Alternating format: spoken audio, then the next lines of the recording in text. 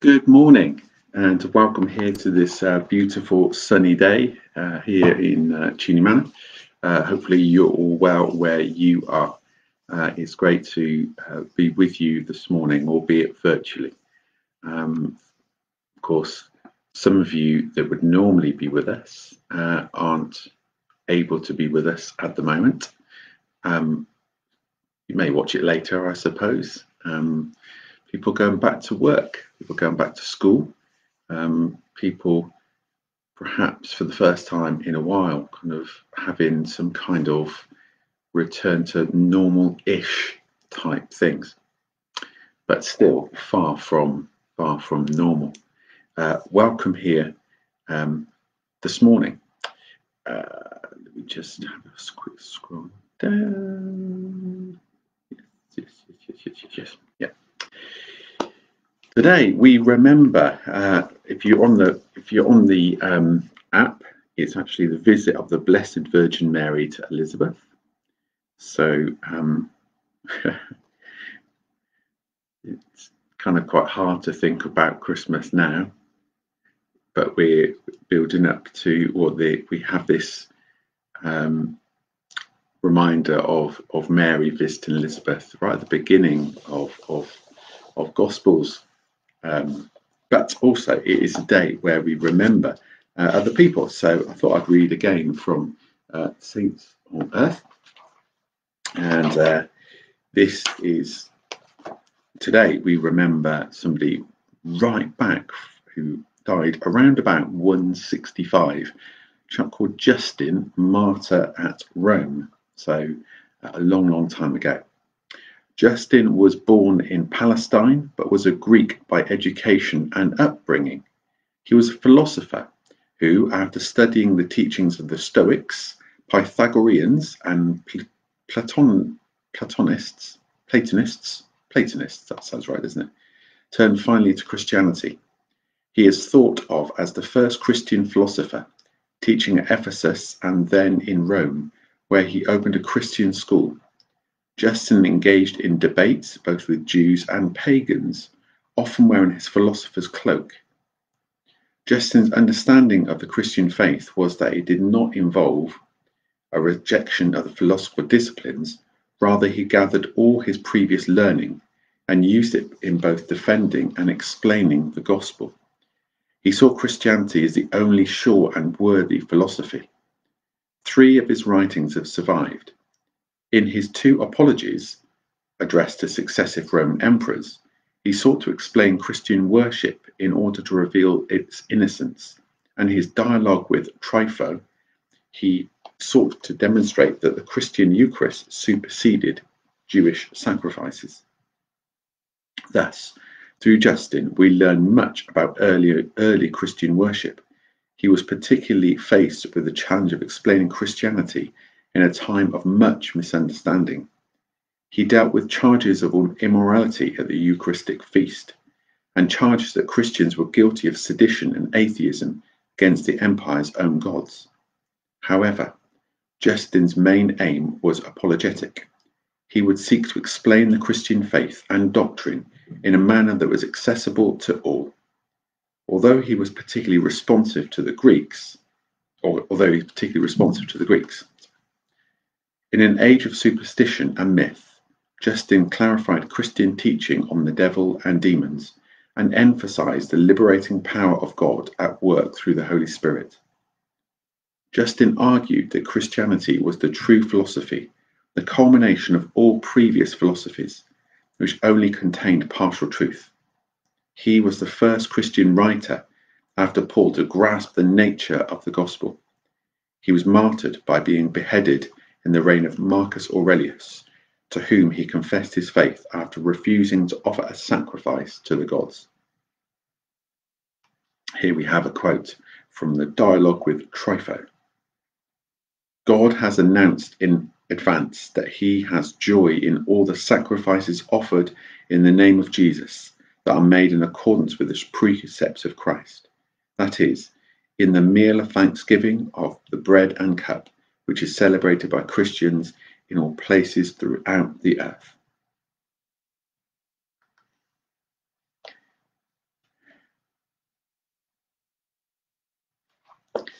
Another uh, founding member of the early church, uh, another martyr, another person that we can thank really for for the, the for for where we are today. God working through him, and he working with the power of the Spirit um, to be able to kind of stand up for what he believed and to to kind of argue it. Hopefully, you have this in front of you now.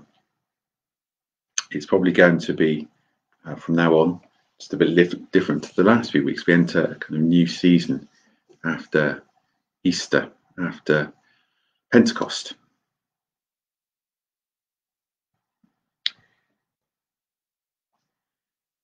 O Lord, open our lips, and our mouth shall proclaim your praise.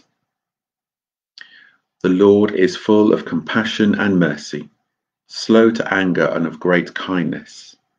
He will not always accuse us, neither will he keep his anger forever. He has not dealt with us according to our sins, nor rewarded us according to our wickedness. But as the heavens are higher above the earth, so great is his mercy upon those who fear him.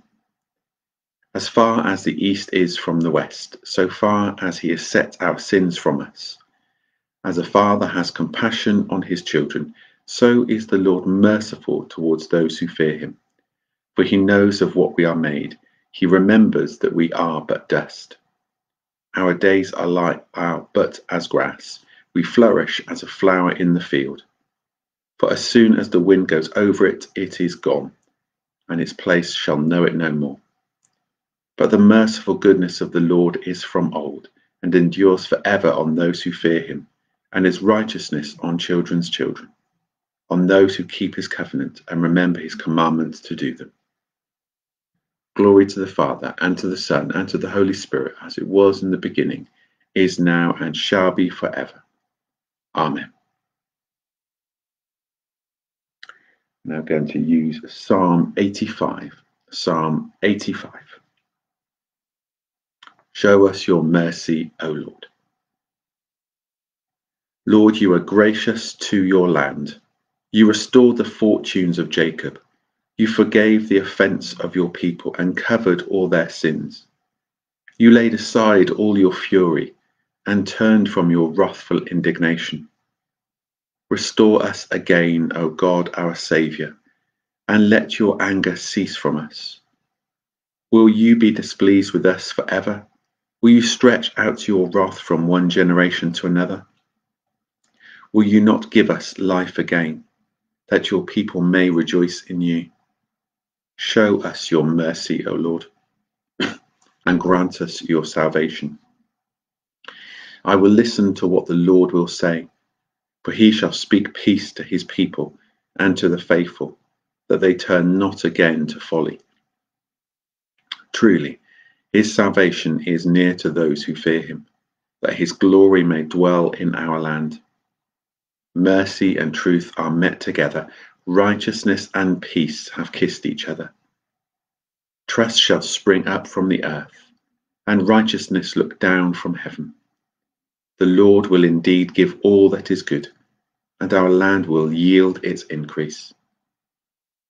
Righteousness shall go before him, and direct his steps in the way. Show us your mercy, O Lord. Most holy God, when we come to you fearing that truth condemns us, show us that truth is one with love in your word made flesh, our Saviour, Jesus Christ. Glory to the Father, and to the Son, and to the Holy Spirit, as it was in the beginning, is now, and shall be forever. Amen.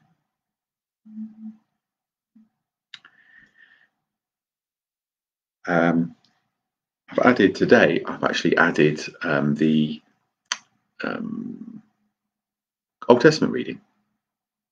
So if you're on the notices, you will notice that today's reading uh, from the Old Testament is actually on there. And it's a, it's a beautiful um, part of the Bible. For those that joined us with Zoom last week, it's, um, largely that part. Um, 1 Samuel 2, verses 1 to 10. 1 Samuel 2, 1, 1 Samuel chapter 2, beginning to read at the first verse. Hannah prayed and said, My heart exults in the Lord, my strength is exalted in my God. My mouth derides my enemies because I rejoice in my victory. There is no Holy One like the Lord, no one besides you. There is no rock like our God. Talk no more so very proudly. Let not arrogance come from your mouth, for the Lord is a God of knowledge, and by him actions are weighed. The bows of the mighty are broken, but the feeble gird on strength. Those who are full have hired themselves out for bread but those who are hungry are fat with spoil. The barren has borne seven, but she who has many children is forlorn. The Lord kills and brings to life. He brings down, excuse me, he brings down to Sheol and raises up. The Lord makes poor and makes rich. He brings low, he also exalts. He raises up the poor from the dust. He lifts the needy from the ash heap to make them sit with princes and inherit a seat of honour. For the pillars of the earth are the Lord's, and on them he has set the world. He will guard the feet of his faithful ones, but the wicked shall be cut off in darkness. For not by might does one prevail. The Lord, his adversaries shall be shattered. The Most High will thunder in heaven. The Lord will judge the ends of the earth. He will give strength to his king and exalt the power of his anointed. This is the word of the Lord. Thanks be to God. Of course, that wasn't what we read at Oasis last week. That was the bit afterwards. Sorry. Um, Hannah had pleaded for a son. Uh, she went to the temple and prayed so fervently in her heart, but also her lips were moving. And Eli thought that uh, the priest there thought that she was drunk and scolded her only for her to kind of explain what she was doing. And then God answered her prayer. And this is her response to that, her words of praise.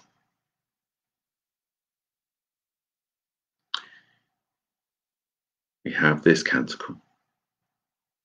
Send wisdom forth from your holy heavens, from the throne of your glory. Send what is pleasing to you. O God of our ancestors and Lord of mercy, you have made all things by your word.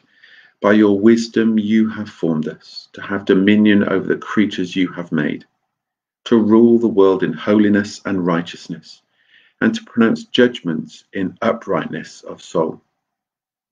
Give us wisdom that sits by your throne. Do not reject us from your servants, from among your servants. For we are your servants with little understanding of judgment and laws. Even one who is perfect among us will be regarded as nothing without the wisdom that comes from you. With you is wisdom. She knows your works and was present when you made the world. She understands what is pleasing in your sight and what is right according to your commandments. Send her forth from the holy heavens from the throne of your glory send her, that she may labour at our side, and that she may learn what is pleasing to you. For she knows and understands all things. She will guide us wisely in our actions and guard us with her glory. Glory to the Father, and to the Son, and to the Holy Spirit, as it was in the beginning, is now, and shall be forever. Amen. Send wisdom forth from your holy heavens from the throne of your glory, send what is pleasing to you. You'll notice that canticle comes from uh, Wisdom, chapter 9, verses 1 to 5, A, C. I've seen A before, never C. And then 6, 9 to 11. Wisdom you will find in the Apocrypha. So it's it's an, a, a group of non-canonical books of the Bible which aren't in the canon, so they're not um, they're they're not quite regarded in the same way as the books of the Old Testament, but they're from that time. Uh, I believe the Roman Catholic Church do include them uh, in their Bible. Uh, they have the same Bible as us, but they have these extra few extra books as well, and there's nothing kind of wrong with them. Um, but they're not quite seen as canon in in in kind of the Bible that we might use. Uh, if you have a Bible with an apocrypha, you will find wisdom in there, um, amongst other books as well. But we do come to uh, a gospel reading now. Mark chapter 3, verses 31 to 35. Then his mother and his brothers came, and standing outside, they sent to him and called him. A crowd was sitting around him, and they said to him, your mother and your brothers and sisters are outside asking for you. And he replied, Who are my mother and my brothers? And looking at those who sat around him, he said, Here are my mother and my brothers. Whoever does the will of God is my brother and sister and mother. This is the word of the Lord. Thanks be to God. Trust in the Lord with all your heart, and be not wise in your own sight. Trust in the Lord with all your heart, and be not wise in your own sight. In all your ways acknowledge him, and he will make straight your paths. Trust in the Lord with all your heart. Glory to the Father, and to the Son, and to the Holy Spirit.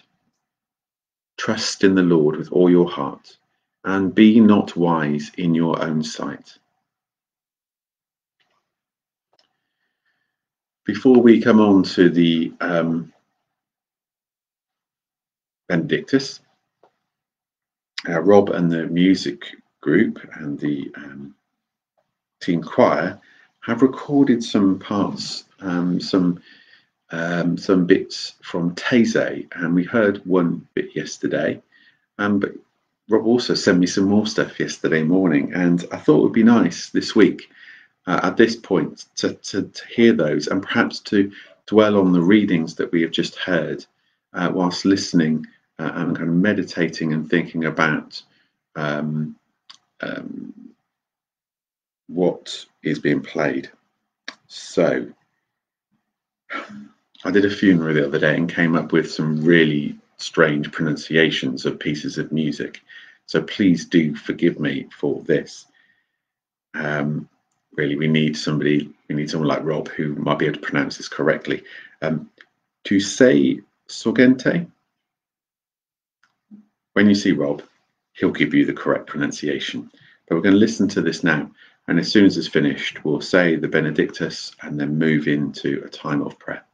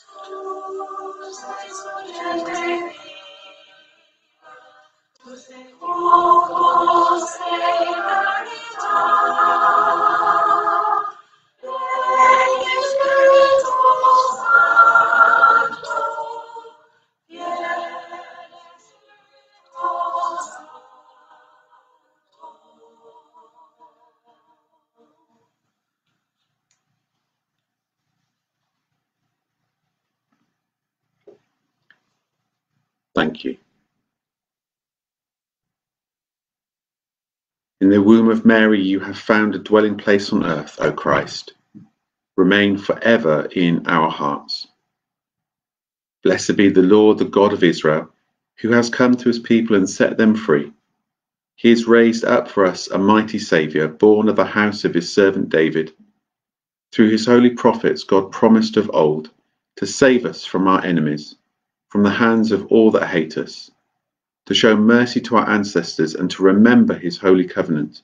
This was the oath God swore to our father Abraham, to set us free from the hands of our enemies, free to worship him without fear, holy and righteous in his sight, all the days of our life. And you, child, shall be called the prophet of the Most High, for you will go before the Lord to prepare his way to give his people knowledge of salvation by the forgiveness of all their sins. The tender compassion of our God, the dawn from on high, shall break upon us, to shine on those who dwell in darkness and the shadow of death, and to guide our feet into the way of peace. Glory to the Father, and to the Son, and to the Holy Spirit, as it was in the beginning, is now, and shall be forever. Amen. In the womb of Mary, you found a dwelling place on earth, O Christ. Remain forever in our hearts. We now come to a time of prayer. So let us pray. If you could respond, please, with Lord, in your kindness. When I say Lord, in your kindness, could you please respond with Hear our prayer? So let us bring our prayers, our thoughts, our worries, our anxieties, our joys and pleasures to Almighty God. Lord, in your kindness, hear our prayer. Dear Father, we thank you for all that you have blessed us with. We thank you for this beautiful morning. We thank you for the, the beauty of the earth, the, the wonder of your creation, the wonder of nature that we see outside, the wonder of each other and our fellowship with each other, our friends and our family. We pray, dear Father, that we will always be grateful for what we have, that we will count our blessings, be able to name them one by one Lord, in your kindness, hear our prayer. Lord, we pray for this day and this week ahead. We bring before you whatever we might have on our calendar, in our diary, or just in our heads of things that we have to do. And whatever we do, dear Father, we pray, Lord, that you will fill us with your Spirit so that we will do it in your name that we will do the best that we can. That by our words and our actions we may please you. We pray, dear Father, like the disciples so long ago at Pentecost, that your Spirit may fill us with confidence to put your word into action in word and deed. So guide us this day with your wisdom, dear Father, to seek the path that you have set before us, and to hear your voice in our hearts. Lord, in you, Lord, in your kindness, hear our prayer. We lift before you, Lord, those who are going to work today. So many people in so many key roles, in key jobs but perhaps those people in particular who are going back to work for the first time today, or perhaps those who are going back to some kind of normality. We pray for those venturing back to school, children, teachers, parents. Pray, dear Father, that you will offer them protection. Pray, dear Father, that you will watch over and be with them. Pray, dear Father, that you will ease their anxiety and maybe curb some enthusiasm as young children come back together, so eager perhaps to embrace, so eager to get back to normal. Lord, in your kindness, hear our prayer. And we lift before you, Lord, those whom are on our hearts at this time those whom we are concerned and anxious about, those who are unwell, those who are not able to appreciate the lovely weather or able to, to do things like normal at the moment, for those who are suffering in body, mind, or spirit. Lord, we lift before you those who are on our hearts. We especially lift before you this day, William, and we continue to pray for him, Lord. Continue to pray for him and his family, that the doctors and the nurses and all those that are looking after him will have wisdom and understanding about what um, exactly is happening inside his body and be able to treat it. And I pray, dear Father, that you will give him your healing strength and be with his family at this time. We pray for all those, Lord, on our hearts. All those, Lord, who are known to us, who are suffering, are in pain, those who are anxious, those in despair, we pray, dear Father, that you might be their hope and be their healing. Lord, in your kindness, hear our prayer. And Lord, we lift before you those who are bereaved, those who are grieving, but unable to grieve in the way that they wish lift before you, Lord, those whom we know have suffered loss.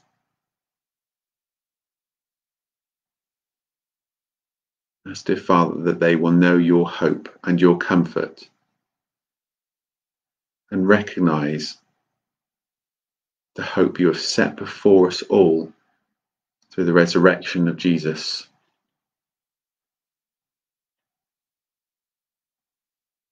Lord, in your kindness, hear our prayer. So equip, equip us and enable us, dear Father, this day to do your will and to do your work. Collect for today.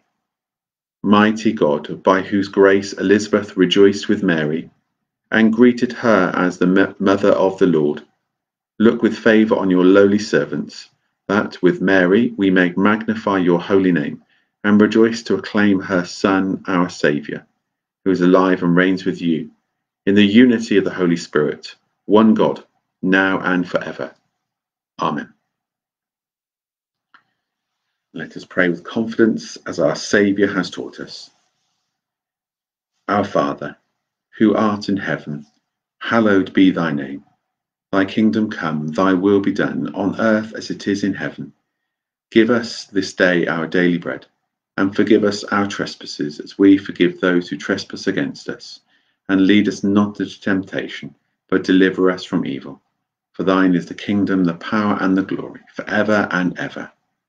Amen. And the Lord bless us and preserve us from all evil, and keep us in eternal life. Amen. Let us bless the Lord. Thanks be to God. I hope you have a great day. I hope you stay safe and well. uh, I look forward to when we're back all back together again. Um, so I hope you get a chance to enjoy the sunshine. I don't think it's supposed to last all week, is it? And, and that's always the case, isn't it? When kids start going back to school, the weather changes, it seems. Um, or is it the other way around? The weather improves. Oh, probably something we just make up. Um, but enjoy today. And let's share the uh, church prayer. The Lord be gracious to us and bless us and make his face to shine upon us. Help us to be a blessing to each other and our communities, that your ways may be known among us. Let all the people praise you, O God. Let all the people praise you. Amen. Amen. Amen. Amen. Amen. Have a great day. God bless.